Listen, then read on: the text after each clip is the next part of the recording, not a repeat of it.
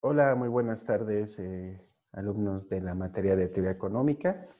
Eh, les ofrezco una disculpa. El día de hoy no pude estar con ustedes en vivo por cuestiones de, bueno, en mi casa tuvimos el COVID y el día de hoy tenemos que ir a que nos hagan unos estudios. El día de ayer tuvimos una consulta médica y la doctora pues detectó eh, secuelas de del virus en nuestro cuerpo, en el mío, en el de mi esposa y en de mis hijos. Entonces tenemos que ir a hacernos unos estudios hoy por la tarde en, una hora más. Entonces, eh, pues les dejo la clase grabada para que ustedes puedan verla y nos estaríamos viendo, por supuesto, el siguiente miércoles. El día de hoy toca ver, la semana pasada vimos el tema de ley de la oferta y la demanda, como ustedes recordarán. Hoy vamos a hablar de la teoría de la demanda y la teoría de la oferta, es decir, la teoría del consumidor y la teoría del productor, como lo quieras ver. Lo puedes ver como teoría de demanda, teoría de, teoría de la oferta, eh, o teoría del consumidor o teoría del, productor. Eh, al final del día este, es lo mismo. Entonces voy a compartir con ustedes en pantalla lo que vamos a ver el día de hoy lo vamos a explicar. Es muy importante hoy porque hoy estamos durante la semana 1, 2, 3 y 4, está, estuvimos viendo temas de microeconomía, ¿no? Y a partir de la siguiente semana vamos a entrar de lleno a, temas macroeconómicos. Entonces es importante que hagamos una distinción. Eh, esta parte, esa manera de introducción para recordar, siempre me gusta como recordar el tema de lo que eh, hemos visto desde el inicio hasta donde nos ha traído hasta aquí. La economía, como sabemos chicos, es la ciencia que va a estudiar eh, la forma en que el ser humano va a aprovechar los recursos que son eh, a disposición, que están a disposición de nosotros, los que nos da la naturaleza y lo que nos da este, los, los avances tecnológicos ¿Cómo usa los hombres, el hombre estos recursos para satisfacer las necesidades eh, intrínsecas del hombre, ¿no? De una sociedad. Entonces, la economía estudia eso, precisamente cómo el hombre toma estos recursos para satisfacer las necesidades de la población. Y para ello eh, tiene una división eh, de estudio que es muy clarita, que se llama microeconomía y macroeconomía.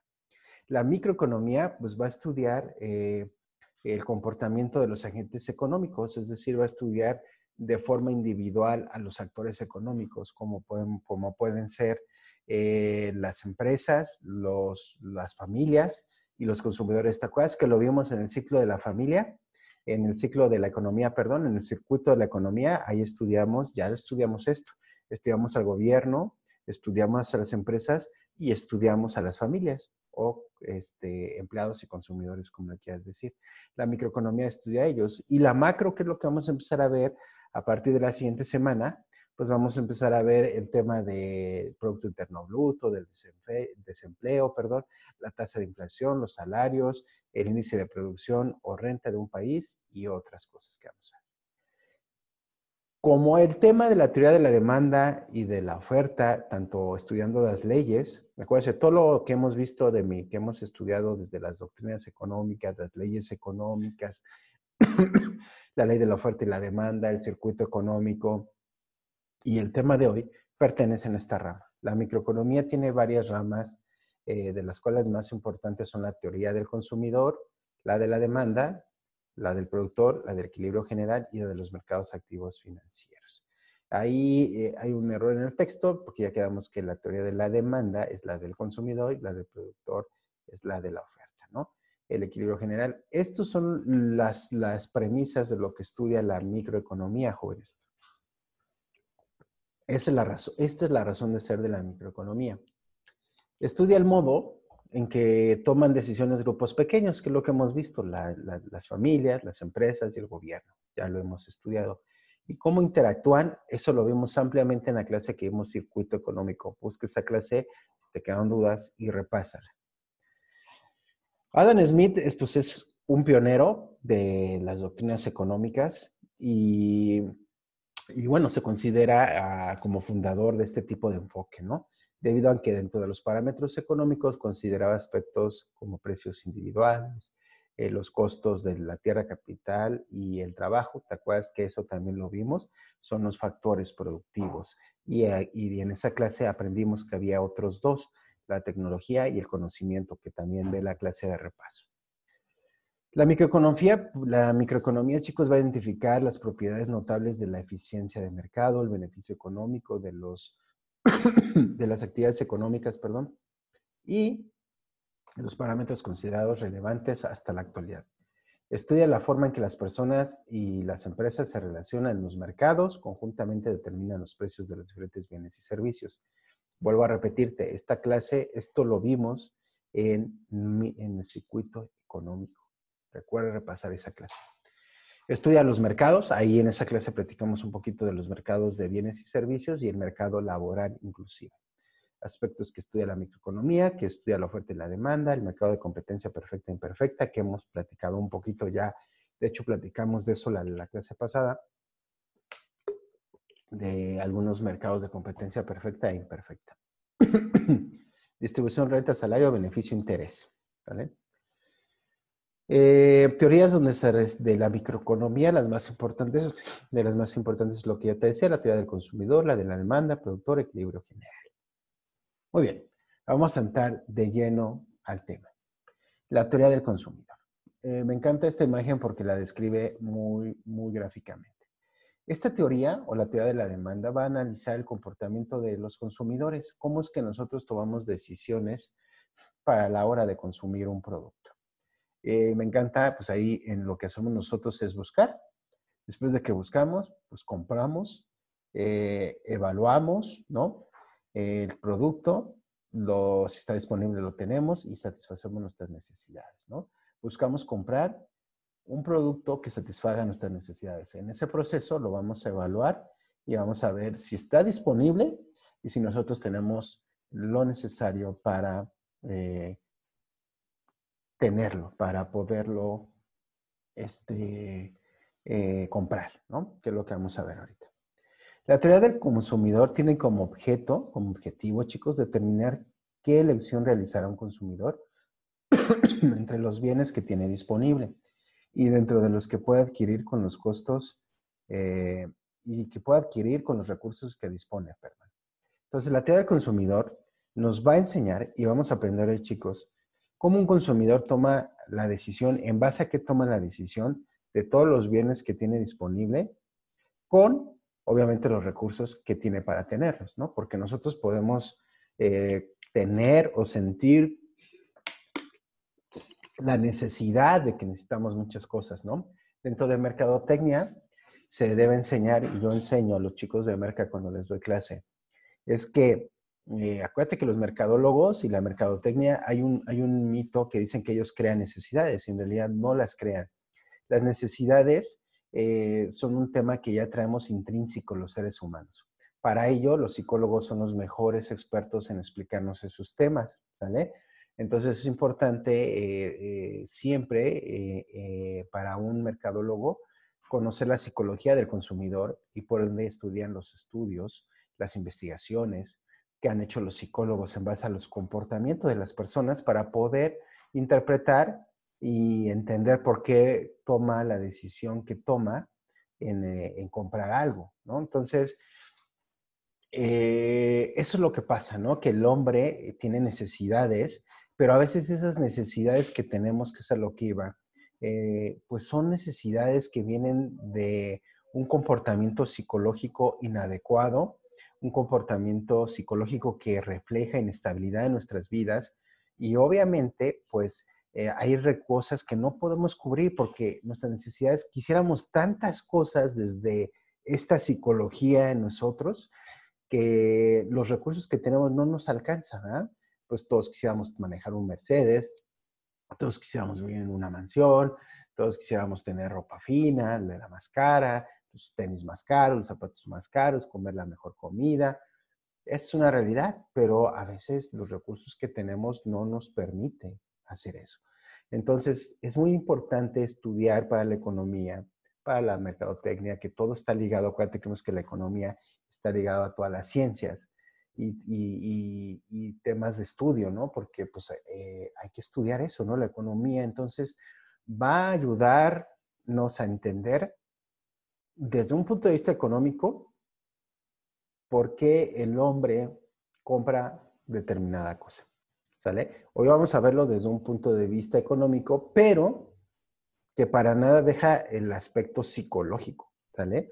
Y ahorita vamos a ver algunos puntos, es muy importante eso. Pero lo primero el primer punto de elección, porque yo puedo estar bien psicológicamente, puedo estar mal psicológicamente, puedo tener necesidades controladas, puedo tener y anhelar lo que necesito para vivir nada más, pero lo que es un bendito hecho, chicos, es que eh, todo depende si tenemos dinero para comprarlo o no comprarlo, ¿vale? Sea que, que tengamos 3 millones de dólares y comprar todos los antojos que queramos, o tengamos 3 pesos y no podamos. Todo depende de eso, que es el punto neurálgico de esta teoría. Nosotros tenemos necesidades, tenemos una gama de productos para escoger, para satisfacer esas necesidades, pero todo es en base, en primer lugar, pues al dinero que tengamos, a los recursos que tengamos. Entonces, el primer punto que tenemos que entender es que dentro de la teoría de la demanda o del consumidor, tenemos una restricción presupuestaria, que es lo que yo te estaba diciendo.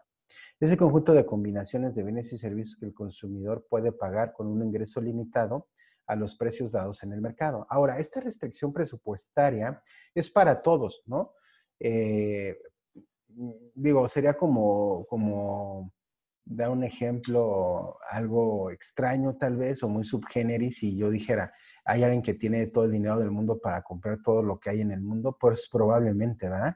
hay dos, tres familias que son dueñas del mundo, literalmente. ¿Por qué? Porque son dueñas de todos los bancos, porque son dueñas de las financieras, porque son dueñas de las empresas que tienen los bienes eh, de cada nación para ellos, ¿no? Entonces, habrá, habrá quien sí tenga el dinero, chicos, para comprar eh, todos los bienes, ¿no? O sea, habrá quien sí lo tenga, ¿no? Habrá quien, eh, quien tenga el dinero para comprar todo lo que él quiera, tal vez, ¿no? Lo que sí sé es que, pues, a la mayoría, el 90% de la población mundial, tenemos restricciones, o hasta el más, ¿no? 98%, 99%, el porcentaje que le quieras dar. Tenemos restricciones presupuestarias, ¿no? Porque hasta los que tienen más dinero, los ricos, no estoy hablando de los, por eso quiero hacer esa separación, ¿no? De estas familias monstruosas, los Rothschild, Rockefeller, este, este, y otras familias que tienen eh, pues muchísimo dinero y, este, bueno, pues literalmente podían comprar todo, ¿no? Pero me refiero a la, sociedad, aún incluyendo a la gente con mucho dinero, empresarios exitosos o, jugadores exitosos, eh, es como decirte, no podemos comparar que Michael Jordan calculan que su, que su riqueza es de alrededor de 2 mil millones de dólares, ¿no? 2 mil millones de dólares, mientras que la riqueza de un Carlos Slim es de arriba de 60 mil millones de dólares. Hay una diferencia abismal. Jordan, aún con sus mil millones de dólares, pues tiene restricciones, ¿no? Comparados con Carlos Slim. Habrá cosas que pueda comprar Jordan y habrá cosas que no puedan. Y ustedes me dirán, con mil millones de dólares que no puedes comprar, ¿verdad? Este, pues habrá algo que no puedas, ¿no? que sí pueda Carlos Slim. Eso es lo que voy. Pero al final del día, yo les digo, hasta esa gente eh, millonaria y los millonarios tradicionales, los que viven en, posiciones de clase alta, por ejemplo, los millonarios, eh, algunos millonarios en México que no tienen esas cantidades. Eh, por ejemplo, yo se me viene a la mente Hugo Sánchez, ¿no? Hugo Sánchez, su fortuna está evaluada en 15 millones de dólares, muchísimo dinero. Pero Hugo tiene restricciones comparados con Jordan, ¿no? Entonces, todos tenemos de alguna manera, o la mayoría de nosotros tenemos una restricción económica en base a lo que podemos pagar. Entonces, el primer punto es la teoría del consumidor, ¿no? Es el primer punto y la primera característica por la que, desde un punto de vista económico, una persona toma una decisión de qué compra o qué no compra, es su presupuesto. Si el presupuesto le alcanza, lo compra. Si el presupuesto no nos alcanza, no lo compramos. Número dos, el excedente del consumidor. Es la diferencia entre la cantidad máxima dispuesta a pagar y la que realmente se paga. A todos nos ha pasado que decimos, yo necesito un coche nuevo, ¿sale? Entonces nosotros ahorramos O tú pides un préstamo en base a tus ingresos, acuérdate la restricción presupuestaria, a tus ingresos. Si yo puedo pagar un crédito, si saco un coche, puedo aumentarme un compromiso de un coche de pago de mensualidades de 10 mil, 12 mil pesos, de 5 mil, 7 mil, en base a tu restricción presupuestaria. Entonces, siempre sales con la mente, dices, esto es lo máximo que estoy dispuesto a pagar. Y luego, lo que realmente terminas pagando, ¿no? Aquí es muy chistoso, chicos, porque eh, en la economía juega todo eso, ¿no? Yo por eso les comparto todo el panorama, porque si nada más leemos el concepto, pues está padre, hagamos la clase rápido. Pero aquí el tema es el siguiente. Si yo, este, eh, debo entender que a la hora de tomar decisiones, pues tengo que tomar en cuenta mi restricción presupuestaria muy claramente. Te explico por qué. Tú vas y compras un coche. Llegas a la agencia y tú traes en tu mente un costo, lo máximo que estás dispuesto a pagar. De ahí te van a presentar lo más alto que estás dispuesto a pagar y después de ahí para abajo. Te voy a decir, por ejemplo, mi primo. A mi primo, este, mi, tío le dio, con este ejemplo te lo voy a decir todo. Eh, mi tío le dio de regalo 250 mil pesos y le dijo, eh, hijo, tienes 250 mil pesos para comprarte un coche él llevaba ya una cantidad, él tenía un presupuesto, 250 mil pesos, no más. Y de esos 250 mil pesos, este, él tenía que, con eso tenía que comprarse un coche.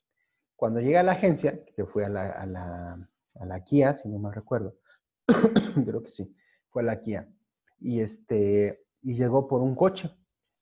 Y le alcanzaba para, creo que al río, ¿no? Y, este, y luego viene otro que está eh, arribita de ese. Y mucha gente pues compraría el río, ¿no? Para lo que alcanza, 250 mil, lo compro y pasa. Eso es lo normal, jóvenes. O compramos para lo que nos alcanza o compramos un coche más baratito. Igual nos sobra para el primer pago, no sé, como que esa es nuestra lógica, ¿no? Pero vamos a encontrarnos que también hay gente, como mi primo, que, que le gustó el Forte, creo que se llama el Forte, el, el, el coche que le sigue y tomó la decisión de comprarse ese, pero valía 100 mil pesos más. Para ello, tuvo que pedir un préstamo, le dieron los 100 mil pesos y con eso a completar el coche. Entonces es lo que te digo, eh, hay que entender, ¿no? Todos tenemos una restricción presupuestaria, hay un excedente del consumidor que es lo que estás dispuesto a pagar, lo máximo, lo que realmente pagas. A veces pagamos menos, a veces pagamos lo que tenemos planeado y muchas veces cometemos el error de endeudarnos. Para mí fue un error de mi primo. Yo te pregunto, ¿quién te da 250 mil pesos para que te compres un coche? Cómprate el que te alcance y te acabas. Se acabó, ¿no? Yo lo veo así, yo. Por eso vean, es la teoría del consumidor. Es la teoría, es teoría, ¿no? Yo lo veo así, ¿no? Lo veo en el plano de, pues, ¿para qué gasto más dinero en, en, del que ya tengo y que me sale gratis? No pongo nada pago el coche y me olvido de pagar nada.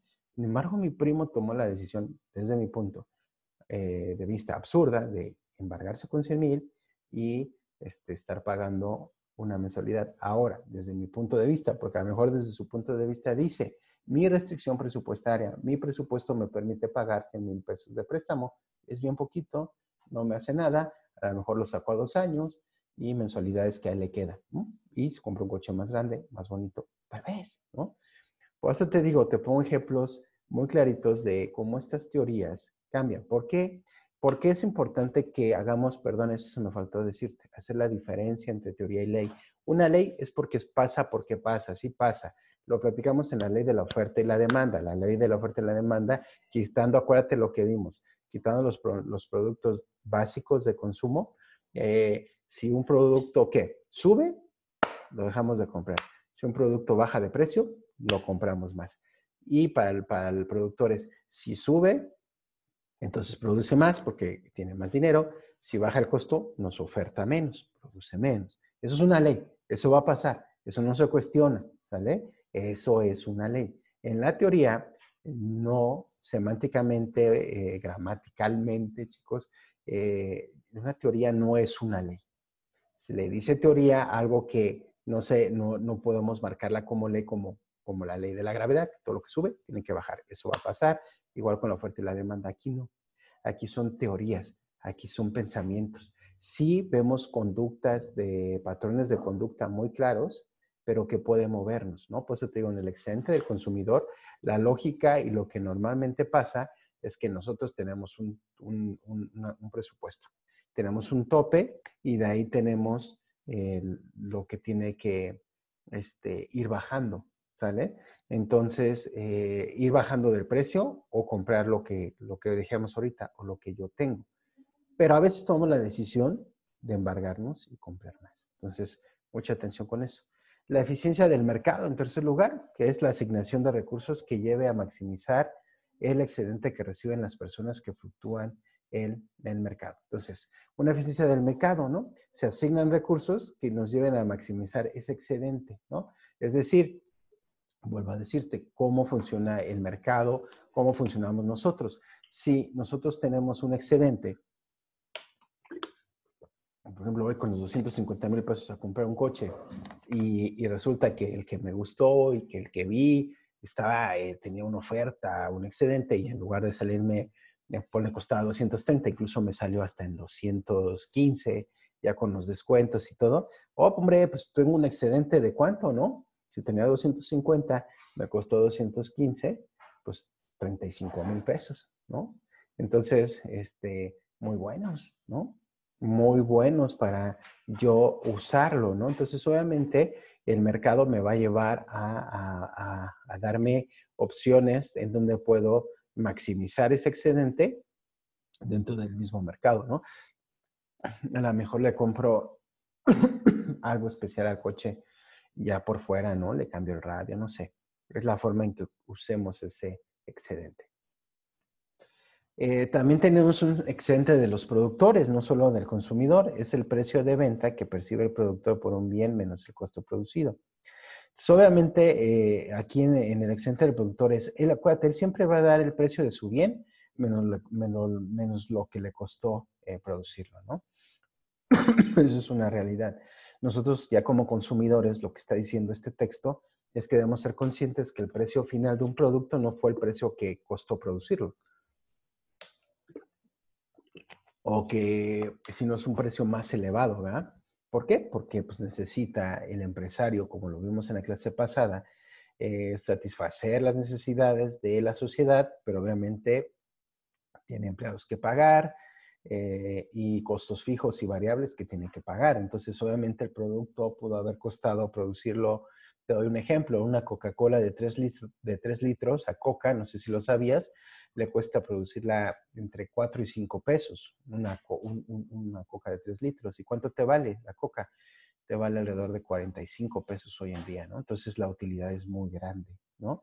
Entonces, pues obviamente eso es un excedente del productor que nosotros siempre tenemos en cuenta, ¿no? O sea, al final del día, muy poca gente sabe lo que cuesta producir una coca, hoy lo sabes, ¿no? De 3 litros, 4 o 5 pesos, y te la venden en 40, ¿no? Entonces, eh, mucha gente diría, ay, pues si costó 4 o 5 hacerlo, pues te compro eso, ¿no? Pero el productor te va a decir, ¿y cómo le hago yo para pagar los sueldos y mantener todo el, todo el, este, pues toda la parte eh, de la operatividad de la empresa, ¿no? Luego vienen las preferencias y la utilidad, ¿no? Eso es bien importante. La obtención de alternativas para decidir cuál es la preferida o si es indiferente dado que las dos dan, las dos dan la misma satisfacción. Acuérdate que aquí también juega el tema de eh, qué lo uses y cuál es tu preferencia, ¿no? Eh, eso ya lo veíamos en la ley, ¿no? Acuérdate que dentro de la ley de la demanda también está el, tema de eh, los gustos y preferencias. Aquí en la teoría también se aborda este tema al final del día tú escoges el producto que más te sea útil y obviamente el preferido, ¿no? A veces no podemos comprar el preferido, a veces sí lo podemos comprar, pero lo que sí es que dentro de lo que podemos comprar, escogemos el que más nos gusta y el que más útil o sea. Eso es una realidad. A lo mejor no me puedo comprar la MacBook Pro, ¿no? Última generación que está en 50 mil, pero bueno, pues me alcanzó para la MacBook Air, ¿no? Al final yo quería un Apple, conseguí un Apple, una buena computadora, eh, y dentro de lo que podía comprar era mi preferida y para lo que lo uso, pues me sirve. Para analizar la toma de decisiones dentro de la teoría del consumidor, eh, se utiliza un modelo del comportamiento del consumidor, que es lo que yo te decía. Hay ya es como si hay un tema psicológico, también la economía, por eso se liga con la psicología. Eso lo vimos en la primera clase. Obviamente, pues está caracterizado por los gustos o preferencias de los individuos eh, que determinan la cantidad de satisfacción que obtienen cuando consumen los bienes y servicios. Lo acabamos de explicar, ¿no? Y lo explicamos en la clase pasada. ¿Qué te gusta? ¿Qué prefieres? ¿Qué puedes comprar en base a tu restricción presupuestaria? Los consumidores tienen restricciones o limitaciones a sus elecciones. Ya lo platicamos, ¿no? Eh, generalmente económicas o muchas veces que escasea el producto por, por cualquier situación y los consumidores maximizan su bienestar eh, o placer derivado del consumo de, sujeto a sus restricciones. ¿no? Entonces, volvemos al tema. Nosotros vamos a tender siempre a maximizar este, lo que podemos adquirir en base a nuestras necesidades, ¿no? Entonces, es bien importante. o sea, al final yo tengo un presupuesto, yo puedo comprar eso y eso me satisface y me hace feliz, ¿no? Puede ser que no tengo lo que yo quisiera al final, pero tengo lo necesario y que me, me, ayuda en lo personal, ¿no? Todos los consumidores deben elegir qué bienes compran porque las limitaciones eh, de su riqueza les impiden comprar todo aquello que puedan desear, es lo que yo te decía, ¿no? Eh, tú terminas decidiendo qué puedes comprar en base a tu riqueza, en base a lo que ganas, ¿no? Eso es un hecho. Los consumidores tienen un conjunto de gustos o preferencias que utilizan a la hora de elegir entre bienes. Los gustos difieren entre cada individuo. Eso ya lo hemos platicado abiertamente. ¿Qué propiedades tiene eh, dentro de las preferencias del consumidor? ¿no? Hay una completitud, capacidad de elegir qué bien prefiere entre un conjunto de bienes. Estas son unas como características que, tiene a la mano el, demandante, el consumidor, ¿no?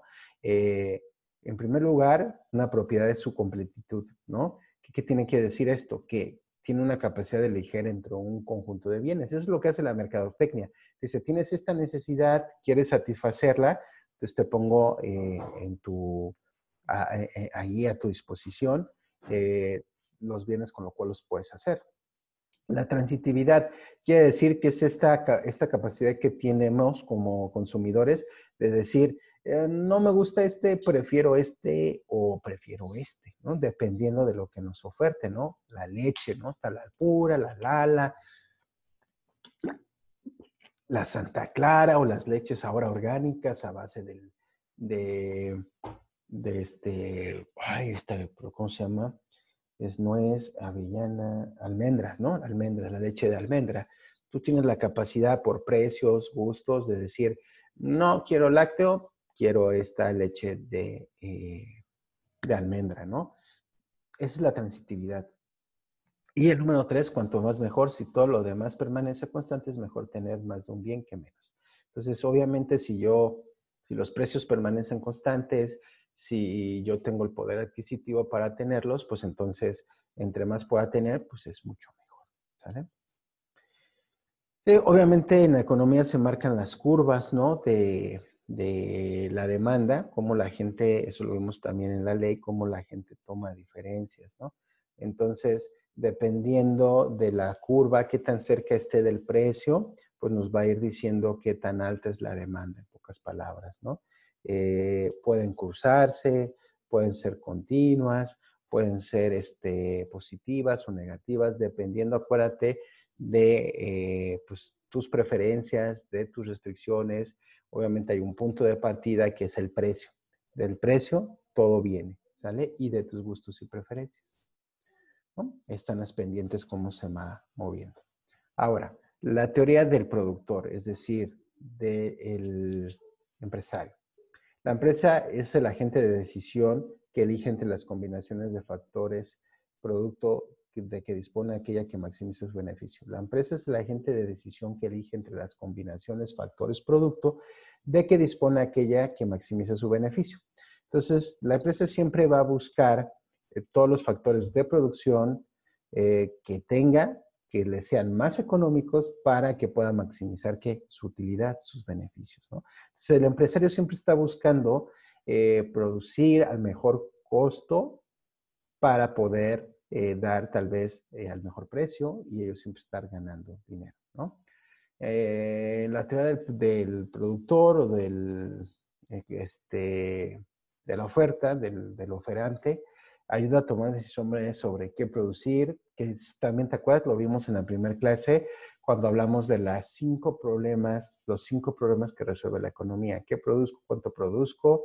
Eh, la combinación de recursos para que podamos producir al menor costo y qué tecnología nos va a ayudar a sumar eso. Que acuérdate que la tecnología quedamos que también ya era un factor productivo.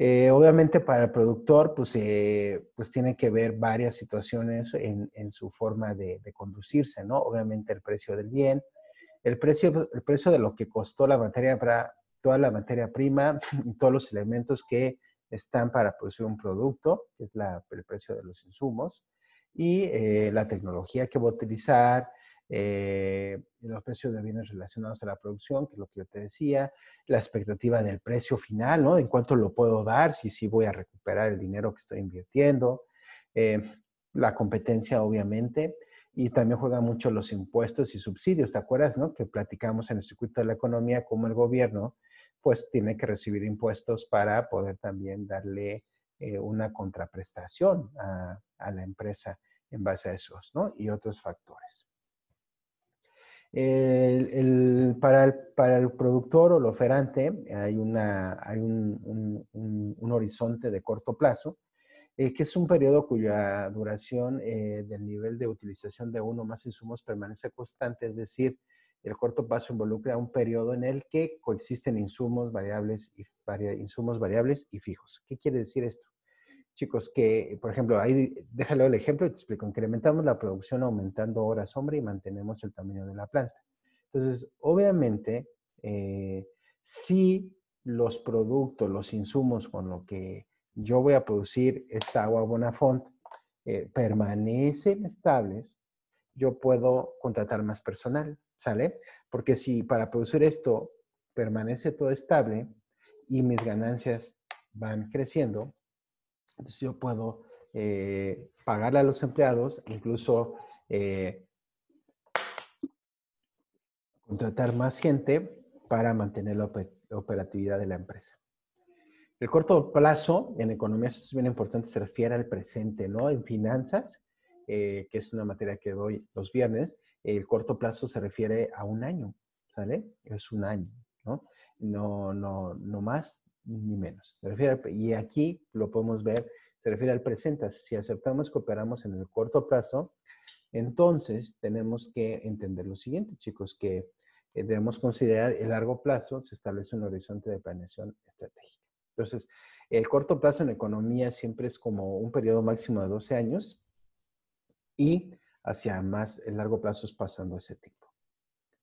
Corto plazo, largo plazo, ¿no? Referido al periodo donde todos los insumos son variables. Obviamente, si a largo plazo varían los, insumos de producción, pues solamente va a variar el precio y el comportamiento del productor. Eh, la función de producción para el oferante, ¿no? Es una relación matemática que muestra la máxima cantidad de producto que se puede obtener a partir de un conjunto de insumos o recursos en un periodo, eh, o recursos de producción en un periodo determinado y bajo cierto proceso tecnológico. Lo vuelvo a repetir, el corazón de un empresario, de una empresa, de una industria es cuánto me cuesta estos insumos, en cuánto los puedo eh, adquirir para producir al mejor costo, ¿no? Y obviamente la tecnología juega un factor más eh, relevante hoy en día, porque entre mayor tecnología tengamos, más oportunidad tenemos de ser competitivos en el precio final.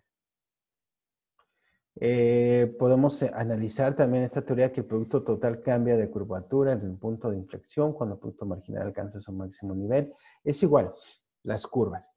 Eh, en muy pocas palabras, estos cuatro puntos te dicen lo siguiente.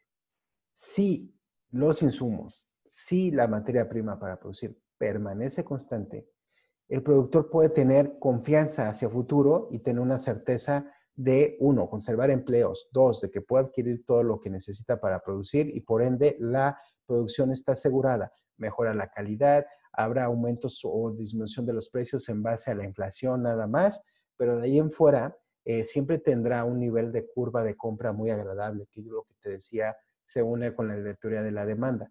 Si el, si la, si el, punto, de, la, el punto del precio es un, un precio justo, efectivo y corresponde a la calidad del producto, va a haber siempre ventas buenas. Entonces es cuando se cruza estas curvas entre que hay un equilibrio perfecto entre la oferta y la demanda, ¿verdad? Porque el precio es bueno y la demanda es buena. Entonces es bien importante esto para el productor. Entonces chicos, pues les agradezco la atención. Una vez más, eh, les agradezco que hayan estado conmigo en este, en este tiempo. Lamento no haber podido estar en vivo, pero pues ya el siguiente miércoles nos vemos este, para conversar. Vean la clase y platiquemos. De todos modos, voy a tomarme un ratito de la siguiente clase para ver un poquito de esto, si vieron la clase y, y platicarlo de manera más extensa. ¿Sale? Les mando un abrazo. Muchas gracias. Cuídense mucho.